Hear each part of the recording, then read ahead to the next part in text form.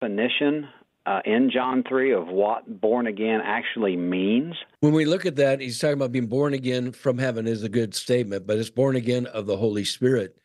And as we continue to travel through the gospel according to John, the good news according to John, you get to John 14, 15, and 16, and we have a deeper understanding of the working of the Holy Spirit.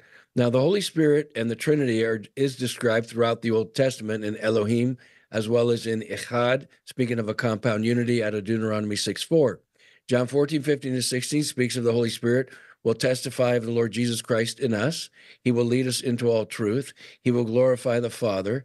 He will tell us about things to come. He'll bring scriptures to remembrance. He will also convict us of righteousness uh, and of judgment, and and and the devil will be judged also. And so we see this conviction that takes place by the Holy Spirit. So we have a clear understanding of the working of this born again experience.